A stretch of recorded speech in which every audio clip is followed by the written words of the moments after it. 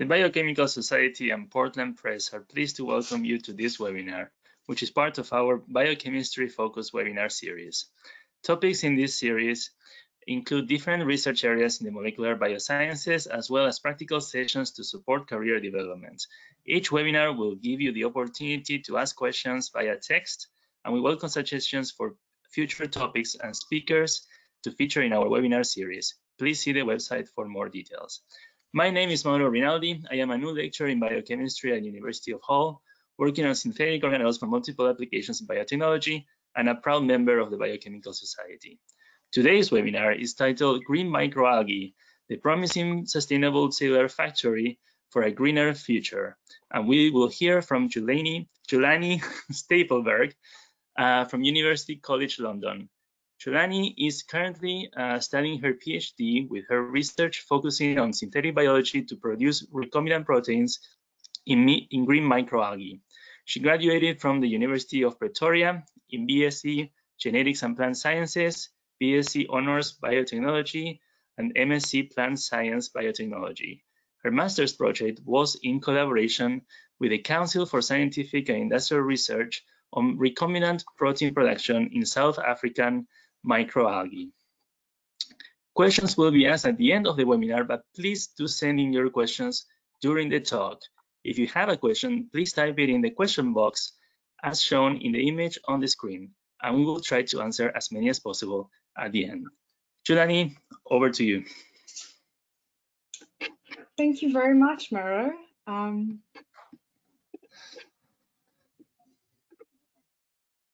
there you go. Can you see my screen? Yes.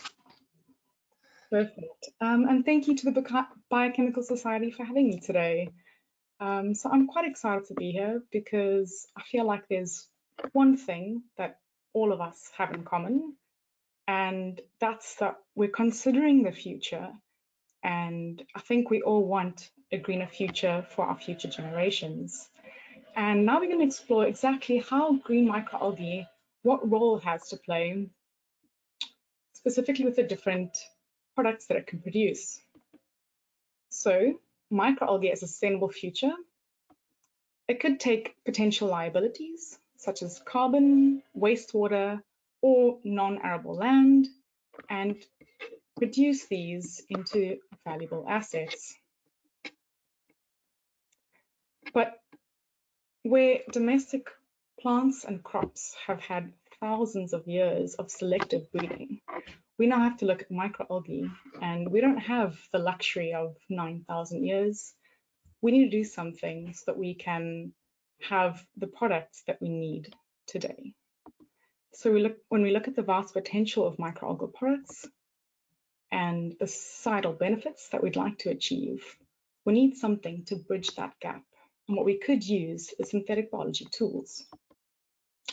So there's a vast array of, of microalgae available, um, spanning the kingdom of life. And we need to choose exactly which microalgae we'd like to focus on. So as um, mentioned, in my master's, I looked at medicinal plants um, and bioprospecting these for their medicinal properties. We found some, but under no circumstance do I encourage the unethical practicing and harvesting of indigenous species. So as a molecular biologist, I thought, well, why can't we just take the gene that we're interested in and place that into another organism that can be more sustainable to harvest? So for my master's, I looked at the recombinant protein production of different South African species and found a wide array, as we mentioned before, but genetic, genetic engineering um, in these is, is, quite challenging because these organisms are so different morphologically, phenotypically, chemically. Um, and that's really where I actually fell in love, um, not just with my now husband, but also with one of the um, organisms that we use as a control. So it's Chlamydomonas reinhardtii.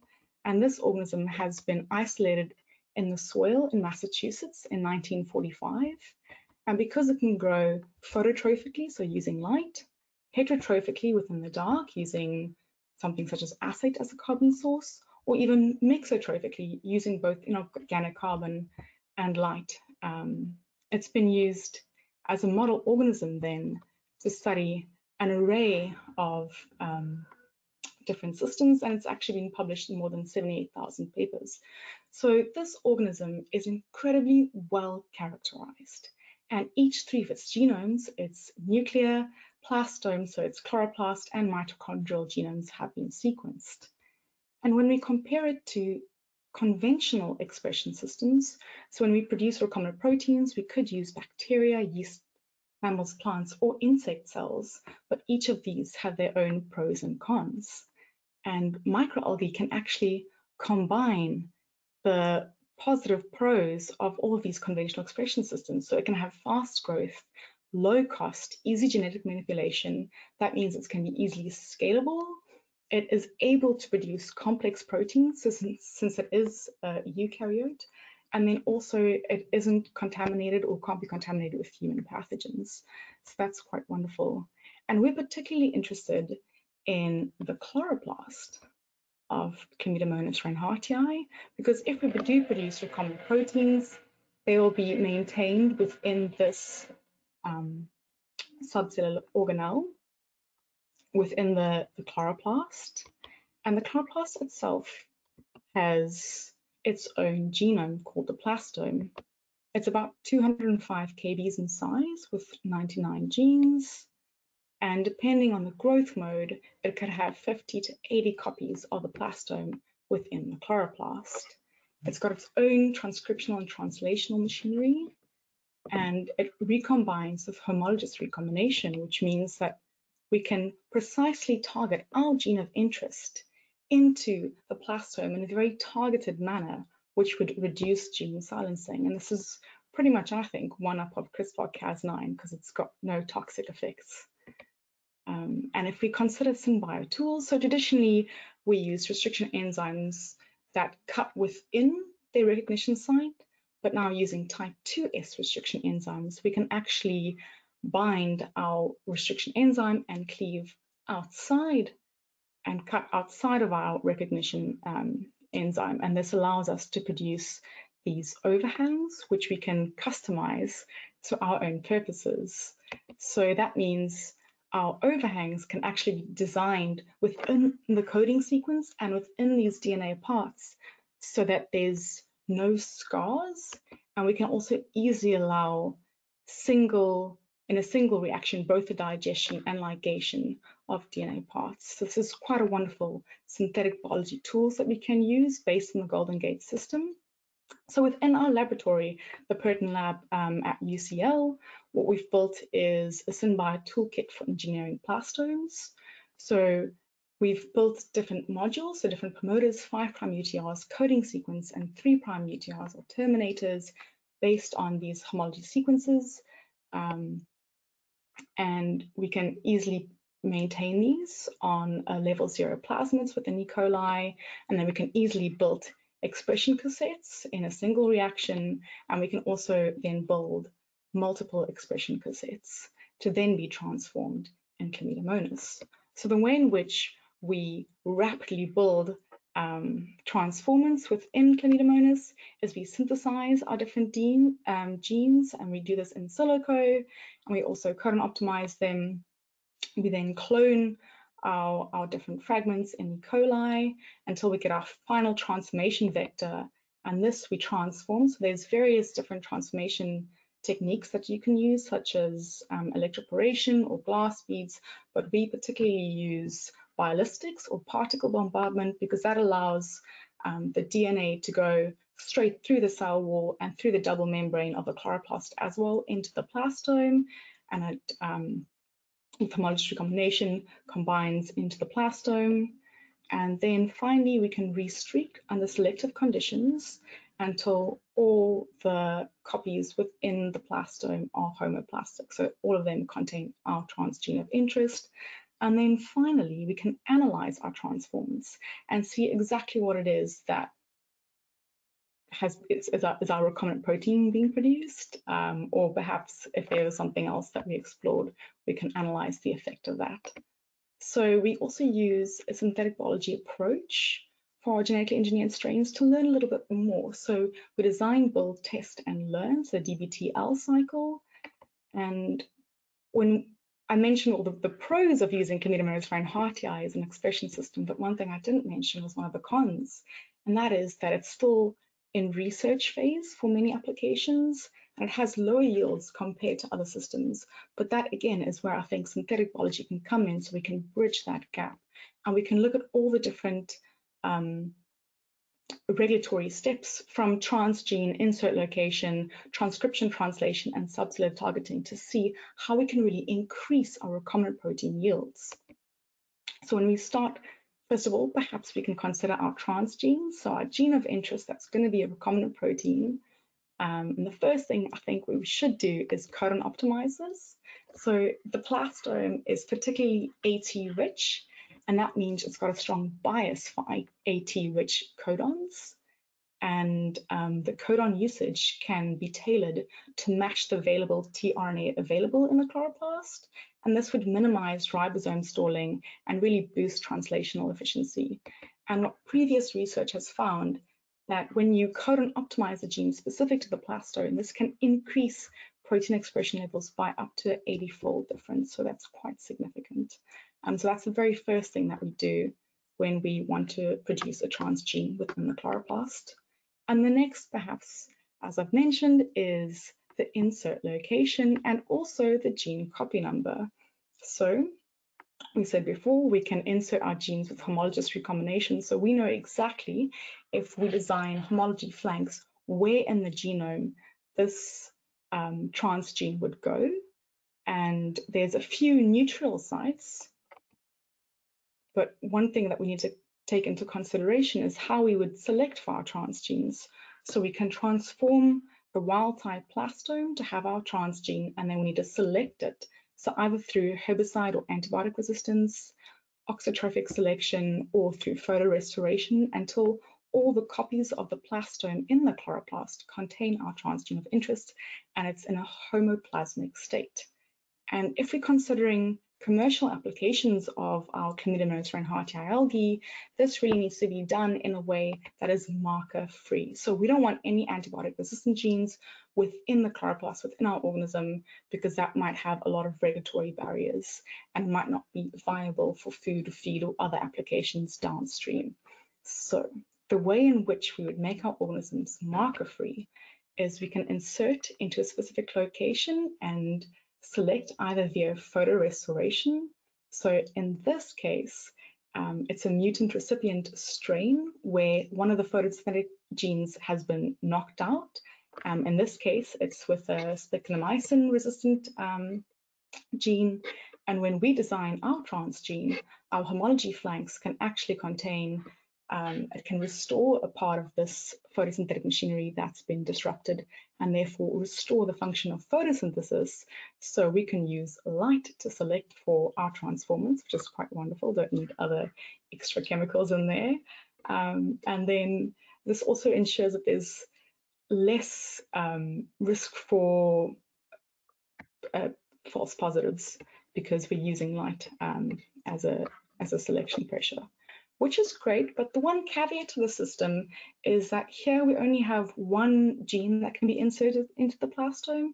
And then also we are limited to only one recipient strain. So we can't really build on this and add extra um, transgenes within the plastomes. That's a little bit of the limitation.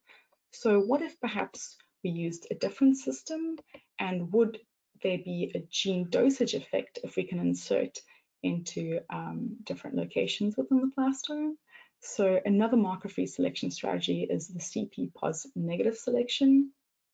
And this is this one that I'm describing here has actually been designed by one of my colleagues, um, Dr. Harry Jackson. And here, what's we we our transgene is designed to contain an antibiotic resistant marker that's also fused to um, uh, COD-A. So that's negative selectable markers. So we can transform this into the plastome and then select for our transformants using spectinomycin, so that is an antibiotic. But then once all of our copies are um, homoplasmic and they contain the transgene, we can loop out um, using negative selection. So The um, terminator here is a direct repeat, and that again with homologous recombination would allow us to loop out the uh, positive negative selection marker until we only have our transgene of interest. Um, and therefore this is marker free. And what's wonderful about this is that you can use this to target pretty much any site within the plastome and we can also repeat it. So these markers can be recycled um, for future design build test learning.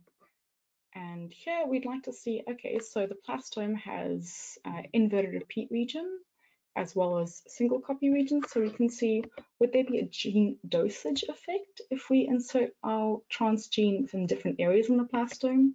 So we built standardized vectors and then using the different selection strategies, transform this into chlamydomonas.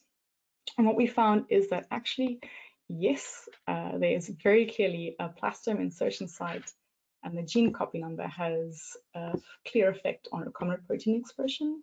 And when we target the transgene to the inverted repeat insertion site, where there's twice as many copies in the genome, we do get up to five-fold higher expression. Um, so the next step that we can look at is, okay, we've got a transgene, we've inserted, we've determined exactly where we want to insert that within the plastome, but now perhaps we can look at transcription. So in conventional expression systems, the stronger the promoter, the more recombinant protein or great expression you'd have. Um, but in chloroplast, um, there's a different uh, regulatory step. So translation is actually the rate limiting step, but it still means that the stronger the promoter, we could have greater expression. Um, and within the chloroplast, we have a single plastid encoded polymerase. And um, the way that the chloroplasts evolved in Chlamydomonas is through primary endosymbiosis. So a cyanobacterium got engulfed, and then a lot of the genes got transferred from the chloroplast genome or the cyanobacterial, the ancestral genome, to the nucleus. There's a lot of gene transfer until finally we get ugly microalgae. But the, the plastome, the chloroplast then might still be very prokaryotic in nature. So a lot of the genes exist as multi-gene operons. And this paper by Cavioli, they actually found that co the co-expression, um, the, they've identified the true transcriptional start sites, and therefore we can actually take the bona fide promoters and we've identified these and um, now we can perhaps see the true promoters, what the effect of their strength is. So we've built different standardized vectors where we've taken um, endogenous plastome protein coding promoters and we've actually synthesized these as single strand oligonucleotides because they are quite small. It's just the core promoter which is necessary. Um, and these single stranded oligonucleotides we've annealed and we've built a standardized expression vector which we've transformed and then through um, luminescence, uh, fluorescence assays, uh, we can really rank the proteins um, and the, the, promoters according to the transcriptional levels. And this is great because now we've got a variety of different strengths of promoters, and this could be used for biosynthetic pathways the expression levels need to be varied. And this would also if it's quite small, so 64 base pairs is quite a small fragment, and that would also prevent homologous recombination. So as I mentioned previously, with the direct repeat of um, the terminator that allows homologous recombination and loop out, now if our fragment is much smaller, it would prevent that loop out from happening. So we can build multi-gene cassettes easily, and it wouldn't induce recombination. So we can really rank our promoters according to the strength, which is wonderful. Um, but one question is, would perhaps the size have a role to play? Um, so the RRNS promoter has been excess, extensively used in prior research, um, but this is normally at 248 base pairs. Um, and out here we really want to explore, would the length of the promoter also have an effect on the transcriptional levels? So we built different size variants of this rRNS promoter, which has been used quite extensively. And what we found is we just tested this in E. coli to see how the expression levels are, um, transformed this into Chlamydomonas, and then tested that in Chlamydomonas as well. And what we can see that yes, the promoter length has an influence on the expression levels. And despite the prokaryotic ancestor, the plastid encoded polymerase from the plastid has evolved to recognize unique promoter sequences. Um, so we can see within E. coli, the core promoter is quite strong, whereas in um, reinhardtii, the longer promoter was gave us um, greater expression yields. So perhaps there's important up or downstream regulatory elements which we need to identify in the future. But perhaps also we can add to our range of promoters and not just look at protein coding promoters. We can also look at the plastome tRNAs. As I've mentioned, it's got their own tRNA machinery. So we chose seven tRNA promoters based on prediction software as well as their structures. And then to this in parallel, we also added some synthetic cyanobacterial promoters, um, built our standardized vectors. Um, and then in E. coli, we've analyzed this as well as once transformed in Chlamydomonas. And again, we can see that there's different expression levels in E. coli versus um, the Chlamydomonas reinhardtii chloroplast. And again, we can rank our expression levels. Um, and surprisingly, a lot of the synthetic promoters designed specifically for E. coli um, didn't work so well within Chlamydomonas reinhardtii. For the next level, after we've um, inserted our transgene, we've transcribed it into mRNA, we would now like to translate it um, into our protein. And this is actually a major rate limiting step within the Chlamydomonas reinhardtii um, chloroplast for producing ROC1 proteins. So we look at the 5' UTR and the ribosome binding site, and gene expression in chloroplast is highly regulated during translation.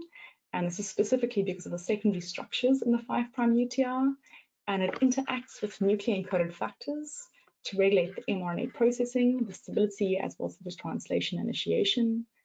Um, so this would require the binding of both the ribosome and specific transacting factors. And surprisingly, the chloroplast 5' UTRs are very species specific and regulated by light as well as other environmental conditions. So we can look instead um, to bypass some of those regulatory mechanisms and we've identified a few 5' UTRs to test, such as synthetic cyanobacterial ribosome binding sites. These are very, very simple. So they might be able to circumvent some specific translational factors. Um, we've also looked at RPS, which has been previously published. And this also, it's a very small um, housekeeping 5' UTR, so that again can bypass a lot of the regulatory factors. PSAA is just a gene that we've used um, UTR as a control. Um, but what's been previously published by Spechler Mayfield is that they've looked at the positive and negatively regulatory regions within the 5' UTR, and they've identified regions where you can replace this with just a string of A's or something, and that would prevent negative regulation. So we've taken that as well, and then we've taken it a step further. We've seen, okay, what if we change our um, Shine-Dalgarno sequence where the ribosome binds to be a perfect match to the ribosome. So a variety of different 5' UTRs, which we've then built standardized vectors for, tested this in E. coli, as well as once transformed in Chlamydomonas reinhardtii, and saw that this actually reacts very differently in prokaryotes versus eukaryotes, which could be wonderful because it could mitigate toxic effects during cloning. Um, and again, we've got a ranked set of strength of the 5' UTRs. And this also has a slight shift in expression pattern um, depending on the growth phase. And the cis elements within the coding sequence might impact the translation and the structure, so the 3D or 2D structure could also impact translational efficiency. So this is quite curious because it could be a co-evolution of the chloroplast and the nuclear genomes which could lead to the development of novel regulatory mechanisms unique to the chloroplast. So the next step is wonderful. We've got a transgene inserted in the in plastome, transcribed it, translated and now we've got our recombinant proteins, but we want to prevent degradation. So one step that we could do is we could look at subcellular targeting. So within the chloroplast, you get the thylakoid lumen and the thylakoids. And one question is, when we produce our um, recombinant proteins within the chloroplast, they automatically accumulate within the stroma, which is where majority of carbon fixation occurs. Um, and when we grow these organisms in the light, the chloroplast stroma actually really becomes a reducing environment. So if we have a disulfide rich protein, such as, I don't know, hormones or antibodies, um, this might not be able to fold properly. And if it doesn't fold properly, it could be prone to degradation. So to circumvent this, we can actually look at the um, at the stroma and the thylakoid lumen. So look at the, the um, subcellular organelles and see, well, within the thylakoid lumen, there's actually a lot of proteins that are disulfide rich and there's a lot of molecular chaperones available. So what if we just target our protein from the stroma into the thylakoid lumen? Um, and this can be done through um, two different ways. So either through the Sec pathway, which would take an unfolded Sec substrate, and then based on its transit peptide transported through this fixed CP Sec-Y channel until it reaches a thylakoid lumen, or we can do this via the Taq pathway, which takes a folded Sec um, substrate and then due to a change in the pH can um, transport our folded protein into the thylakoid lumen, um, where then again the transit peptide would get cleaved. And the way that we distinguish between these two pathways is via its transit peptide. And these vary in structure. So we designed a little experiment, again, design, build, test, and learn to see which pathway would be, would be better for specific recombinant proteins and we used Garcia luciferase, which has got five disulfide bonds as our proxy protein.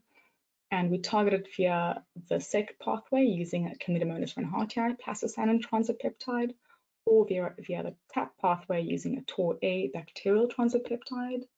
Um, built our standardized vectors, transformed these, and what we can see is very clearly um, the TOR-A transit peptide effectively transports GLUT to the lumen via the TAP pathway, and the lumen here, in this case, is a better environment to accumulate functional disulfide-rich proteins. So this is something else that we can use. We can use the organism's um, intrinsic molecular chaperones to um, produce our recombinant proteins. So once we hopefully have accumulated high amounts of recombinant protein by reaching the upper limit of each regulatory step, there might be another barrier as well, um, and this could actually be perhaps a regulatory barrier because we are talking about genetically modified microorganisms. So a challenge I'd ask you is what, what, what could that be is, um, well, biocontainment of a GMO um, could be taken into consideration. So we can use a biocontainment strategy, which has been previously published, um, again within the group. So none of the 69 protein coding genes in the plastome uses the stop codon UGA. So we could replace tryptophan codons with a spare codon. So the tryptophan UGG, we can replace that with UGA. And what that means is within the chloroplast, we'd have a read-through, but within other microorganisms, the UGA would be seen as a stop codon, and that would terminate um, the transcriptions. This would mitigate horizontal gene transfer to any other microorganisms, um, maybe even within your gut microbiome, um, and this would also reduce environmental risk if our GMO species were to, to get into the environment. So our transgenes won't be able to be transmitted to other organisms. And the next step perhaps is looking, okay, wonderful. Now, how can we increase the scale of production? So we can look at larger scale cultivation. We can scale it up. Um, so there's these wonderful um, plastic hanging bags, which can reach up to 40 liters, or depending on um, the size that you want to produce. And we can look at the bioprocessing and analysis um, for our recombinant proteins, and this can be product dependent. And also the trophic conditions can affect the biomass and the protein yield. So a major challenge with larger scale cultivation could perhaps be contamination. So another way to circumvent this is we can use crop protection. So there's a phosphate oxireductase gene, which uses phosphite for phosphorus instead of phosphate. And a lot of organisms actually can't use phosphite, it uses phosphate. So we've tested um, different recombinant proteins of different uh, chloroplast transgenic strains um, under sterile and non-sterile conditions. And what we can really see here is that our um, this reduces contamination and this would allow upscaling to be more economical. It allows us to grow on non-sterile growth conditions, which really saves a lot. A less technical experience would be required for the team working and handling with these bags. And then again, as you can see in the middle there, these cheap hanging bags um, can be quite economical and easy to grow microalgae. And if we are growing with light, um, perhaps a challenge could be exactly where we're growing these, these microorganisms. Um, if we are going to do it outside in a, in a green glass house or something similar, we would need space as well as sunlight. Um, so in the beginning of this year, um, I went to South Africa for a conference and in the lab, we've got these wonderful little photobioreactors, which can stimulate real world growth conditions for larger scale cultivation. And it does this using a global geographical database from the UN Food and Agricultural Organization. So you can pinpoint any location within the world and it'll tell you this is the average temperature over a daily cycle, this is the average light over a daily cycle, and we, we can use this to our benefits. So as I mentioned, I went to a conference in South Africa in the beginning of this year, and so I was curious, well, let me see how my microalgal cultures would grow in London at the time, which was January, so London in winter. Microalgal cultures didn't fare very well um, compared to in South Africa in summer. Um, there's a vast, vast difference, but this isn't really fair. So let's compare rather with London in summer compared to Arniston in winter. Um, and what we can identify here is depending on our location as well, we can really get year-round productivity. So this, again, should maybe encourage collaboration between different countries um, where we can learn and grow and um, really scale up um, facilities to a, a larger scale. So the question you'd probably like to ask is what, what proteins would we like to produce? Now that we know in what way we can increase our yield, um, increase our microalgal biomass, uh, what proteins are you interested? So over 100 recombinant proteins have been produced within the chloroplasts of Chlamydomonas reinhardtii, and these have been for a variety of, of different applications. Um, but where I think Chlamydomonas reinhardtii has special um, a, a niche novelty is the fact that it has GRAS status, so it's generally recognized as safe. Um, it's also incredibly nutritional. It's got a really high protein content. It's got more protein per gram than a steak. It's got a lot of omega-3s, vitamins, and micronutrients. So we can actually utilize uh, Chlamydomonas reinhardtii as a whole cell, and this would mitigate downstream costs. And I feel like, therefore, there's this perfect um, space where, where microalgal um, recombinant proteins would be, and that's perhaps within edible vaccines, growth hormones, endolysins, bioinsecticides, or sweet proteins. And we can produce a variety of different applications based on this. Um, and this is a photo I took in London over the weekend. Um, and I feel like the question here is we can use in bio in algal biotech. We've got fast developing tools and techniques. These are easy to learn and teach. Using a STEP DNA library, we can really have standardization of our parts. And we can also combine biological knowledge with a design, build, test, learn cycle and this can improve predictability in future designs. We've got a grass organism, so the whole cells can be used. This would mitigate downstream costs. And with the right strain development and hanging bags, scale up could really be economically feasible. And the question again is, what proteins would be most valuable to you? Maybe vitamin-rich food, oral vaccines, hormones, or edible vaccines for agriculture, agriculture, endolysins. Do you think microalgae could be a promising sustainable fa factory for a greener future? And just a big, big shout out um, to everyone in the Protein Lab, as well as past and previous students. And if you are interested in algae, um, so the Microalgal Recombinance Network in collaboration with Algae UK have FICO Club. So it's an online seminar series that's completely free for anyone that's interested in microalgae to join. It's also got um, macroalgae and other applications from right around the world, and that's held on a monthly basis.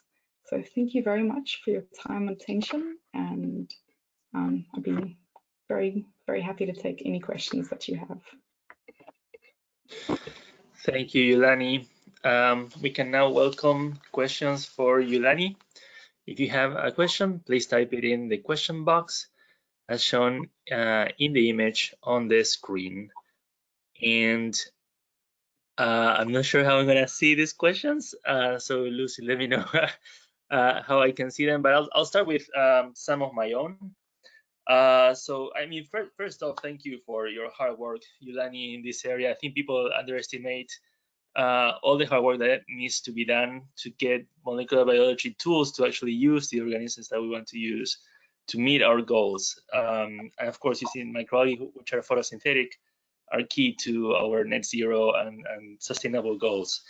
Mm -hmm. um, so you you said brought some kind some idea of illustrative examples of what proteins you said maybe for foods. Are there any other particular examples um, that maybe also help illustrate like how long uh, it takes to produce the protein of interest and something about the economics or is that too too too early to start talking about that? Um, so there's there's definitely some successful um, microalgal strains that are being used today with, within the economy. So um, a company called Accitan, they produce endolysines within Chlamydomonas rein and they use that for food and feed, specifically within poultry. And that's quite wonderful because it would mitigate, it mitigates the use of, of antibiotic, um, antibiotics and antibiotic genes. Um, so that's a wonderful application that where microalgae is being used, specifically um, and um, sorry, what's your other question?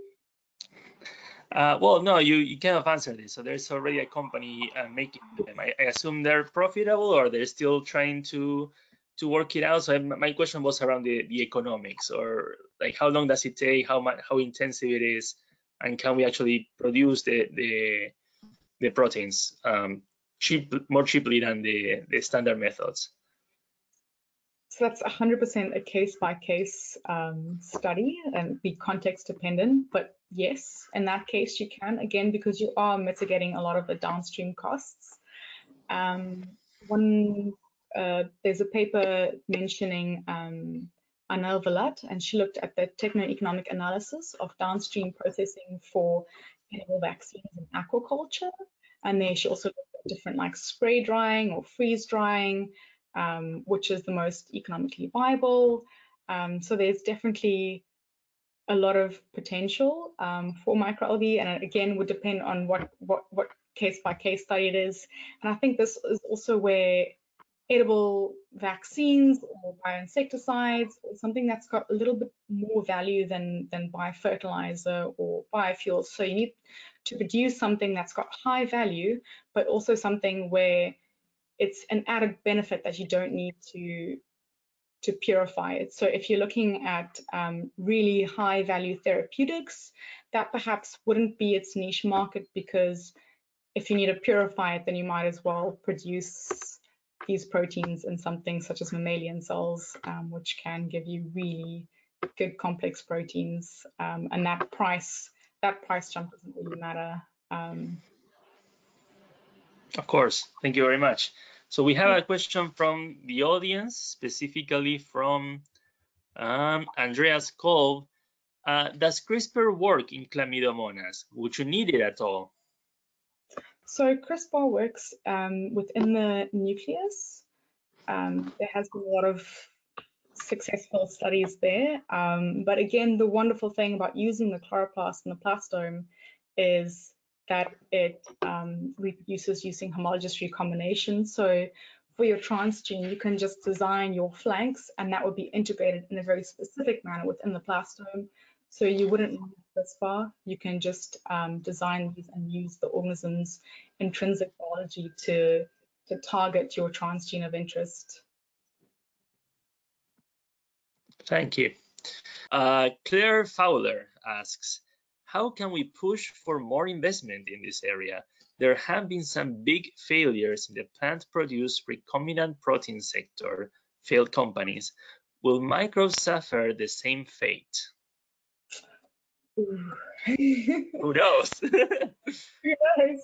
I think um, what we have to do is we have to be really realistic with what proteins we can produce and what is possible. So instead of promising the world, um, say that yes, you know, we, we can produce specific proteins, we can use microalgae, these are the benefits, but also these are the challenges. And that's what we're looking on right now is how can we build on the foundational science that we have a bit more understanding of what works, what doesn't work, and also what our yields are. I mean, as you mentioned, Mara, look at the techno-economic analysis. So I think being really realistic with ourselves as well as our investors um, from the get-go. I know biofuels used to be back in it was a big, big thing, and there was a lot of promise that it's going to, you know, take over fossil fuels and be able to replace um, a lot of the conventional energy systems we use today but a lot of foundational research was still required for it to be techno-economically feasible. Um, so I think we need to be realistic with what is possible, and also we need a little bit more, perhaps if we have more researchers within the field to build that foundational science, um, then we can, again, bridge that gap between what is possible and actually bringing that to a commercialization. So I think, yes, we can, we should invest in microalgae. We can, but we should be realistic as well.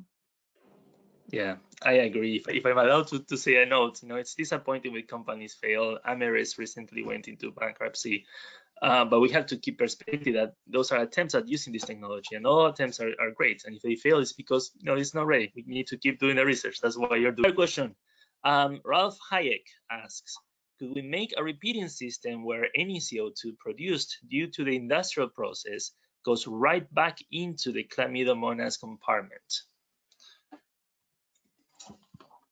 That's that's a really wonderful question. Um, to confirm, are you do you mean like a, a net zero capture carbon from industrial processes? If that's the case, um, so there are quite quite a few case studies where this has been successfully implemented um, even at scale. So there's a company called MyAlgae, and what they do is they use the byproducts of the whiskey industry, um, perhaps that's carbon or something else, and then they utilize that to grow their microalgae, and then their microalgal products are then really rich in omega-3 fatty, acids, so they can use that as a nutraceutical. So in terms of combining different systems and allowing your clean administration hardware or other green algal um, cultures to capture carbon and then and then use another product downstream, it's very, very possible. And it's a, it's a good, something that we need to explore a bit more. All right, I don't see any more questions uh, coming up, and I don't know if I want to keep torturing you with this because these are pretty challenging ones. They went hard on you, and you you did a great job answering them and, and, and giving a wonderful presentation. Thank you very much, Yulani, again. Um, I'm gonna go into my uh, send off right now. So I want to thank everyone for attending and obviously uh, Yulani for a wonderful presentation and answering questions. You can continue the conversation online by following at BiochemSoc and at PP Publishing on X, Twitter, or whatever it's called today. Uh, we welcome questions for future topics and speakers to fe feature in this biochemistry focused webinar series. If you have an idea for a webinar in 2023 or 2024, we invite you to submit a proposal for an upcoming webinar. You can find more information about the webinars, propose your webinar, and watch previous recordings at www.biochemistry.org. All of our upcoming webinars are listed on our website as well. As, and if you have missed any of the 70 plus webinars that, you've, uh, that we've already run as part of the series or would like to watch them again, please visit our website on our YouTube channel. Details will be uh, details are being shown on the screen right now, and the recording from today's webinar will also be available to watch within uh, the next couple of weeks. Join us on 5 October uh, at 2 p.m. Uh, BST for our next webinar, 60 Years of the Colesworth Medal, A View Across the Decades, Part 4. This is the final session in the dedicated series celebrating the anniversary of the Colesworth Medal, and we will be joined by Ron Lasky, uh, David Lilly, Akhilesh Reddy, and Sarah Takeman. Uh, sorry, uh, as they discuss their leading research and share advice. The Biochemical Society 2025 uh, awards are now open for nominations. Uh, featuring new categories and a streamlined nomination process, there's never been a better uh, time to nominate an outstanding peer or colleague. I am not nominating one, by the way, uh, who deserves recognition. The deadline for initial nominations is 1st November 2023, with submissions welcomed by and for uh, both members and non-members. Visit our website to find out more. Finally, I want to highlight that it's more important than ever to stay connected and engaged with your fellow molecular bioscientists. Join the Biochemical Society's community of researchers and specialists and take advantage of key benefits, including discounted registration fees for society courses and meetings, exclusive um, access to a wide range of grants and bursaries, personal online access to two of their journals, and more. Visit their website to find out more. On a personal note, I love to engage with the Biochemical Society. I signed up for, uh, um, you know, I registered to go to Synthetic Biology UK, which is a great meeting. And I think the registration is the same if you become an early career member as well. So you become an early career member, and now I'm a full member uh, by contributing to a panel. Just get engaged. Just look, look at these um, um, opens and try to uh, um, apply for them and be involved. It's great. It looks great on your CV as well. Uh, it's a great uh, society. You should be part of it. So thank you to everybody and goodbye. Have a good uh, evening and a good week. Bye bye. Thank you, Julani. Julani. Thank you very much and thanks for all the questions.